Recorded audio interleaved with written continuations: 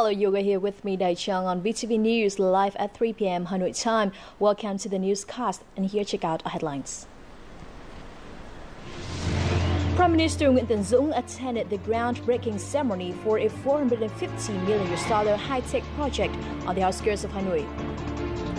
Ho Chi Minh City encourages firms in online tax payment as it helps cut time off the administrative procedure.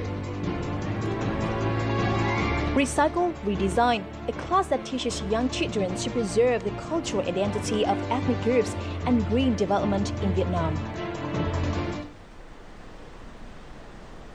The top story for this bulletin the 13th National Assembly closed its month long ninth session in Hanoi on Friday. The National Assembly fulfilled its scheduled agenda and decided on key national issues. The National Assembly has also fine tuned a number of regulations for the state and political apparatus in line with the new constitution in respect to the law governed state and public democracy. The closing ceremony of the 13th National Assembly's ninth session was broadcast live to the nation under the chairmanship of National Assembly Chairman Nguyễn Sinh Hùng. Addressing the event, Chairman Nguyễn Sinh Hùng hailed National Assembly deputies for their outspoken opinions on shortcomings and forecasts that could hinder development.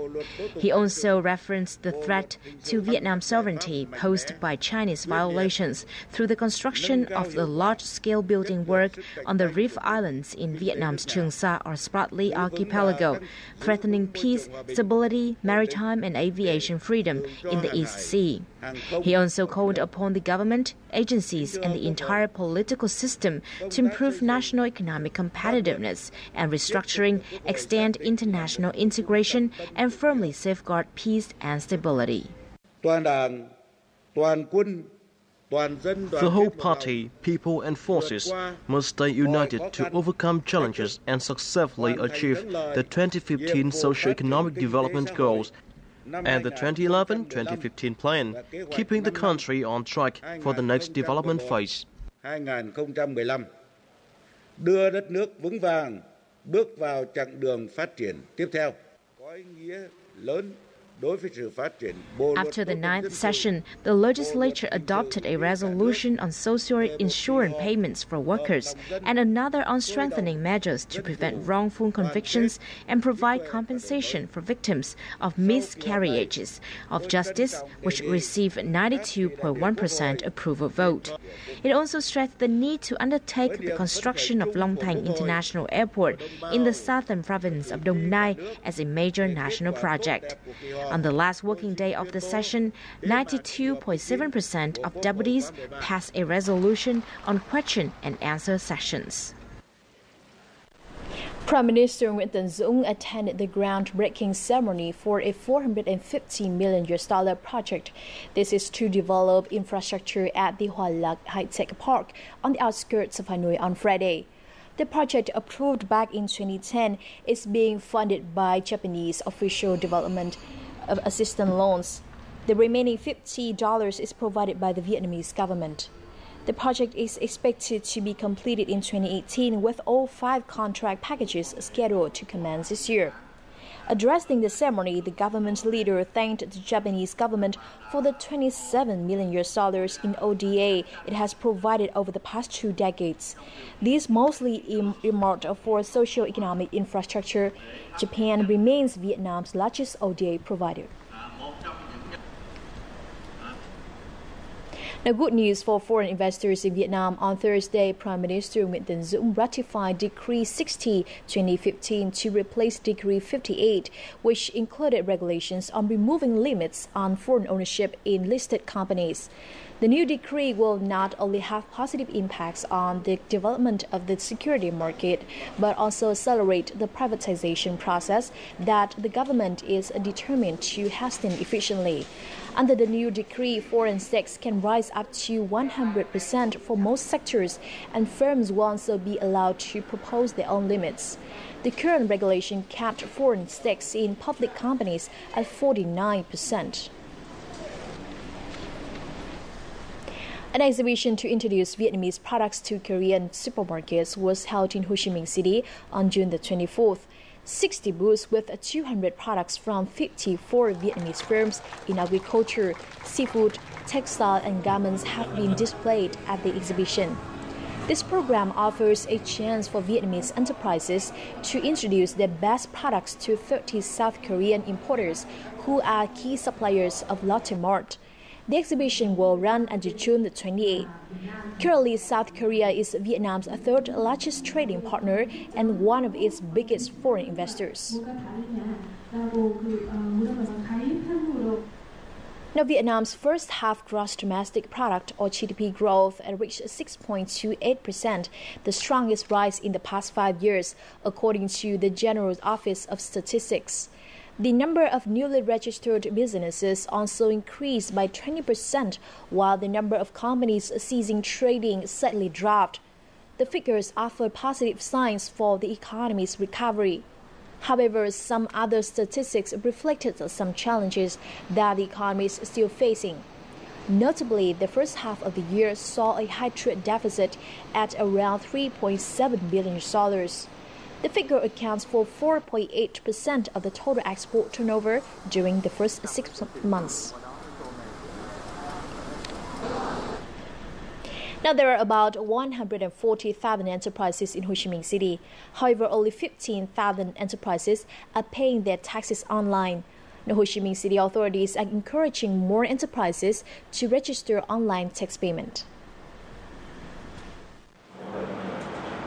It took the accounting department of this company a long time to finish tax payment procedures using the traditional method. Two months ago, this company switched to paying taxes online. This new method has saved them a lot of time. We only need to input information via our computer, following the instruction of the tax department. It took us only 20 to 30 minutes to complete the whole process. It helps us finish the registration on time. 100% of enterprises register online tax payment. However, only 15% of those actually use this method. We are collaborating with banks and enterprises to create a workflow between the three sides. Banks serve as a bridge, helping enterprises to fulfill their obligation. We have connected with 28 commercial banks. 15 banks have implemented their technical platform to transfer the money from enterprises to our online tax payment gateway. Và có 15 ngân hàng đã kết nối được. One reason that enterprises are still slow to adopt online tax payment is because they are not familiar with this new process. Security and accuracy in payment is also another issue. Cái việc thanh toán qua kênh điện tử giúp ích rất nhiều cho các cái doanh nghiệp. Online tax payment has two major benefits. It helps cut time of the administrative procedure, and it helps track the data and history of the tax payments of enterprises. For banks, we are implementing solutions for security and customer information protection. Local authorities also collaborate closely with banks and enterprises to implement the online payment system. Chúng tôi sẽ thành lập cái tổ công tác we will organize different groups to instruct enterprises in completing their online tax payment. We will also organize campaigns to raise more awareness of this new tax payment method, introduce the benefits for enterprises so that they will be more encouraged to switch to the new method. The General Department of Taxation aims to have 90% of businesses paying their taxes online by the end of September. With the collaboration of the government, banks, and enterprises, Ho Chi Minh City can set a good example for other cities and provinces to follow. In other news, the Ho Chi Minh City Training Center for Energy Management was inaugurated this morning at Phước Industrial Zone in Ho Chi Minh City. The ceremony drew participation from the Municipal Authority, the Ministry of Industry and Trade, the Japan International Cooperation Agency or JICA, The project will span a land plot over 900 square meters and is worth over 1.2 million dollars. It is sponsored by a non-refundable ODA by Japan International Cooperation Agency. The center is scheduled to come into operation in 2016. It is expected to provide training for energy management and boost energy consumption efficiency in Ho Chi Minh City and other southern provinces. Now, the European Union delegation in Vietnam awarded prizes to five winners of its climate change competition on Friday in Hanoi. The competition, which took place on Facebook earlier this month, was aimed at encouraging the public, particularly the young, to take action in relation to climate change. The five winners of this year's climate change competition, organized by the EU delegation to Vietnam, each took home a bamboo bike. Besides a deeper understanding about climate change in Vietnam, they turned out winners thanks to their imaginative climate change mitigation solutions. Competition like this help people, especially youngsters, understand more about climate change and more importantly about its influence, especially when Vietnam is one of the countries that be most severely affected. The changes can be the change of very small habits in daily life. For example, avoiding using plastic bags and classify rubbish at home. The EU is working to cut at least 40% of greenhouse gas emissions by 2030, and this competition is part of its efforts to raise global awareness about the severe impacts of climate change facing the whole world, including Vietnam. So you have uh, political agreements, but you also have things that have to be done at a very personal level. Uh, daily habits have to be changed a bit, and uh, that's what we're trying to generate interest about. Some 1,000 entries were submitted on a number of issues relating climate change. The competition is jointly held by the EU delegation and embassies of its member states to promote the United Nations Climate Change Conference held in Paris at the end of this year. In the capital city of Hanoi, the 2015 Vietnamese Family Festival officially kicked off to mark the Vietnam Family Day. Recycle, Redesign, a class that teaches young children to preserve the cultural identity of ethnic groups and green development in Vietnam. These and more coming up. Exotic Vietnam is an intriguing blend of many charms. This land is where all manner of stunning landscapes await like a visual feast, rivaled only by the beauty of its people and their abundantly rich tradition and culture. Here is where you can relive the past in richest color or live it up in the bright lights of the big city. With so much more to offer, Vietnam is simply unforgettable. Welcome back to VTV News. Now, the 2015 Vietnamese Family Festival officially kicked off in Hanoi on Friday as part of activities to mark the Vietnam Family Day, which falls on June the 28th. Organized by the Ministry of Culture, Sports and Tourism, this year's event is themed A Loving Warm Family Meals. Let's join them. Early in the morning, more than 100 families gathered here to join the cooking competition. This is one of the highlights of this year's Vietnamese Family Festival.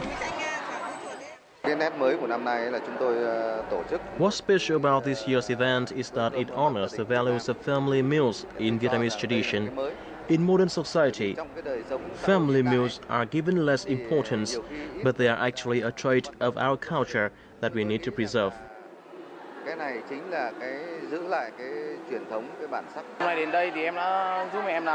Today, I helped my mom cook some dishes to join the cooking contest. The meal that we prepared is inspired by the fire of the stove. It's a meaningful symbol that connects all members of my family. My dad usually goes home late, so this is a nice activity that we can do together. A highlight of the event is a loving message tree. This is where thoughtful and grateful messages from family members are written on heart shaped leaves and then hung. I have traveled 40 kilometers from Đường Lâm to the center to join the festival. Here at the Loving Tree, I have written a message for my family. I love my little family very much, and I hope we'll always be happy. A photo exhibition showcased 100 photos capturing moments in daily life of Vietnamese families across the nation. The 2015 Vietnamese Family Festival also includes seminars, art performances, and a parade, and will conclude on June the 28th. Now on to other news. 256,000 people in Vietnam are HIV/AIDS positive, and among these, 22% are drug addicts. These figures were published in a report on drugs and crime released June the 26th in Hanoi by the United Nations Office on Drugs and Crime, or UNODC.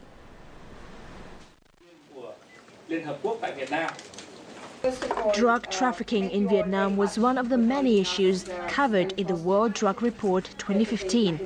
Vietnam is facing challenges in tightening the prevention of drug trafficking. The distribution and sale of substances used to synthesize heroin, such as pseudoephedrine, continues to rise.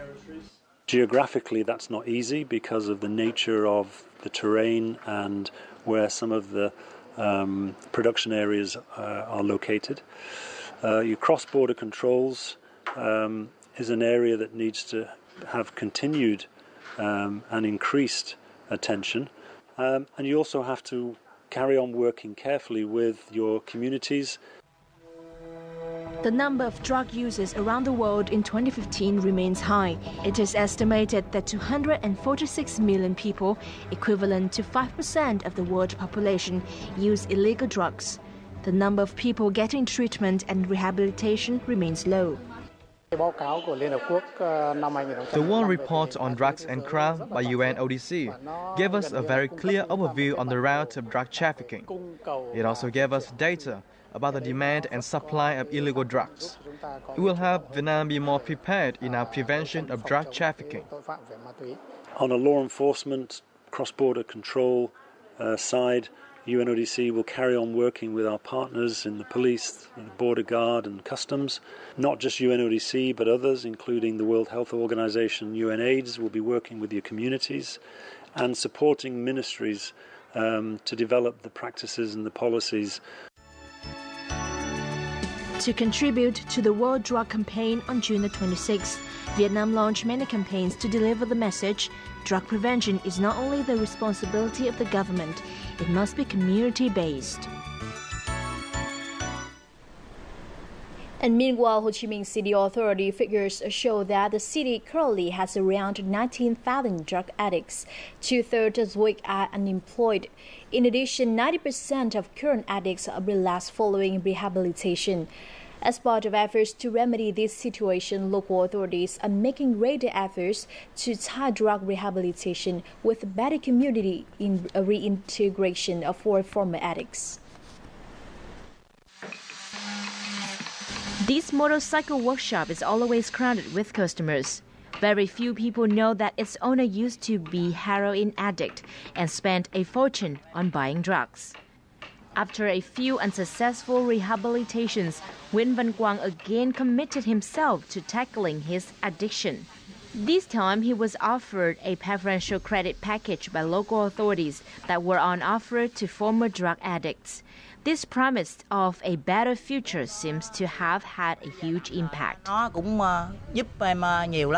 Thanks to the preferential credit, I can buy spare parts and tools for my job. In addition, I can also buy old motorbikes, refurbish, and sell them to make a profit. My life is much more stable now. Most drug addicts are offered vocational courses during their rehabilitation process.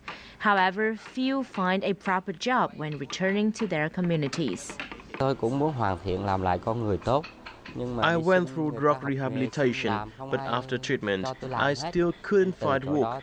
At the time, I was intent on getting some vocational skills in order to open a company of my own to help those who are in the same situation as me. So far, Hung's company has provided employment for many young drug addicts, giving them the opportunity to turn over a new leaf. There are many businesses run by former drug addicts where they are now offering former addicts a chance once they have come out of rehabilitation. People are being given the chance to learn vocational skills and earn money legally. Is an example that should be multiplied. Over recent years, Ho Chi Minh City's authorities have provided favorable conditions to help more than 7,000 people find jobs and successfully reintegrate into the community. The reality is that former addicts with vocational skills and steady jobs that provide good regular incomes are far less likely to return to their previous ways. Now, over 100 disadvantaged children from Ho Chi Minh City got the chance to voice their opinions and wishes at a forum held in the city on June the 26th. The children talked about the lack of playgrounds in the city, the difficulties that disadvantaged children face in accessing entertaining activities, and the need to renovate the school syllabus and add more life skills classes. The forum aims to raise public awareness about children's right to participate in policy making that affects them directly, especially for those of disadvantaged backgrounds. Ho City is now home to 1.4 million children, of which 15,000 are disadvantaged. Now, to preserve the cultural identity of ethnic groups and to raise the awareness of green development in Vietnam, a class themed Recycle Redesign was organized by Tí Toái Atelier, an art center in Hanoi. The class has attracted many young children to participate. Not many people wear this design now. However, it is the source of inspiration for these small children, aged 5 to 15, to design new clothes under the instruction of art teachers from Sweden. And you, and you, and you. And they dress quite similar to some of the minority people in Vietnam. And then switching from Vietnam, Swedish minority people to Vietnamese minority people, and give some inspiration for the kids when they later on today will start working with the t-shirt, cutting and mixing and making new patterns and so. Through art, I want to teach my students lessons about green living and sustainability development. I want them to know that if we keep using our natural resources unwisely, we will run out of them in 10 to 20 years.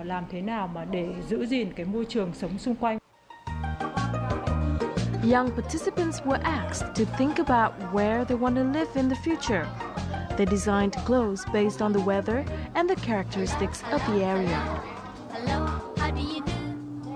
Em làm uh, chú ấy à? Chú có cắt áo, cắt xiêm mẹ mẹ mà. Em định làm một khuôn mặt cười. Em định làm áo có mấy bông hoa.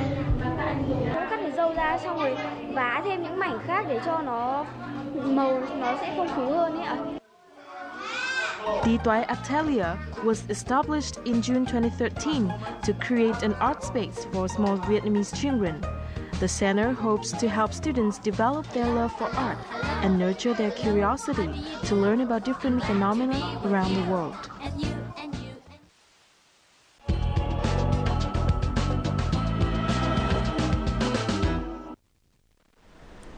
Now known to some as the martial art of love, Aikido is a purely defensive practice that originates from Japan. A Canadian sensei with 40 years of experience, Mark Kitts has sparked the passion for a particular discipline of Aikido here in Vietnam, one that focuses much more on the concept of ki. Let's find out what exactly that is in our Culture Watch this week with our reporter Tizun. The martial art of Aikido began in the late 1920s. Ai, harmony, Ki, energy, and Do, the way of. A defensive discipline defined as harmonizing life energy. Aikido is performed as a way to blend with one's surrounding and the motion of one's attacker, redirecting force rather than opposing it head on.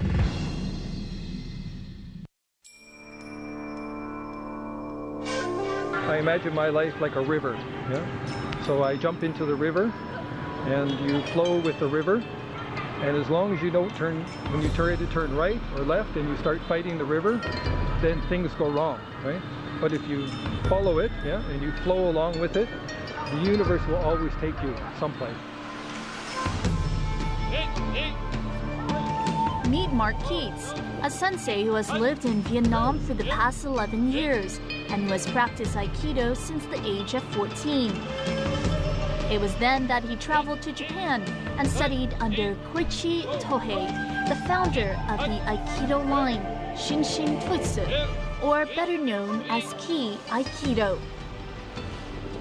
The traditional style of Aikido, they tend to teach you technique, yes, without using your mind. But uh, Sensei felt that was not what old Sensei was wanted to teach people. Yeah, so he wanted to uh, teach people first. Mind leads body in everything you do. Yes, yeah. So your work, your your family life, everything you have to put your mind or your spirit into your into your life, and this is the basic foundation for uh, Shinshin Toitsu Aikido. But what exactly is Ki? Life energy, spirit, feelings, an emotional state of mind. As Mark says, once the Ki or state of mind is fully invested or at ease, actions will then follow effectively. Mark brought his passion of Ki Aikido to Vietnam, and the Hanoi Shinshin Toitsu Aikido Club was formed back in 2006.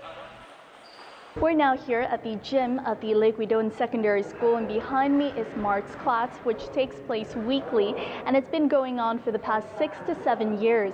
Here, the students learn about the principles of what Ki is and how to apply that to the movements in Aikido. But it isn't exactly as simple as it sounds.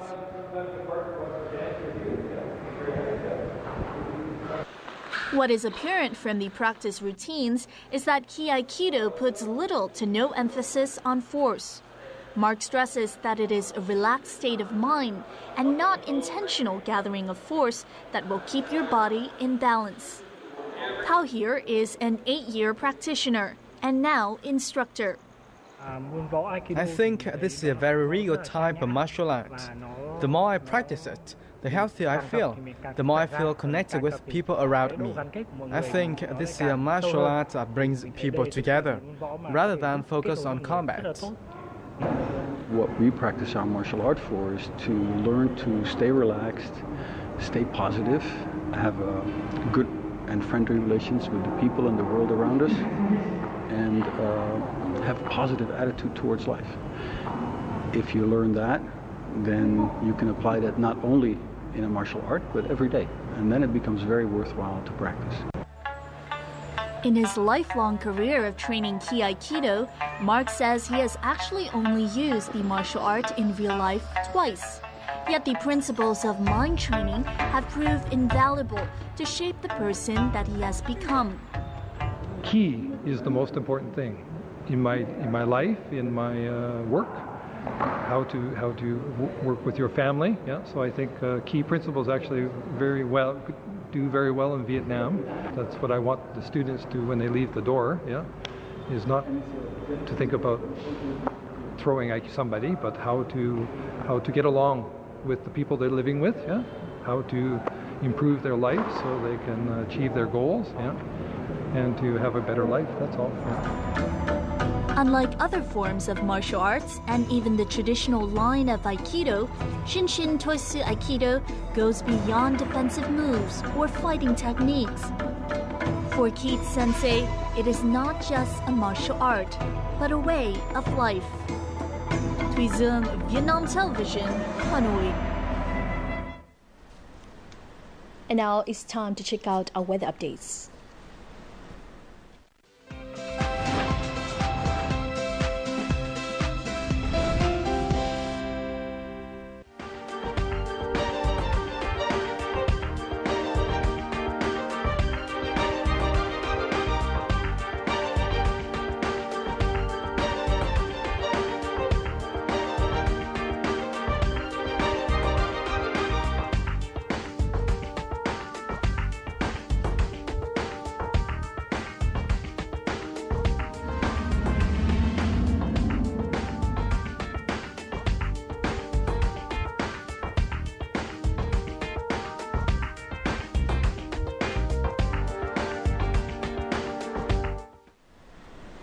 And that's all we have for now. In the meantime, do log on to vtv4.vn or youtube.com slash vtv4go for more news and updates. For now, goodbye from Hanoi.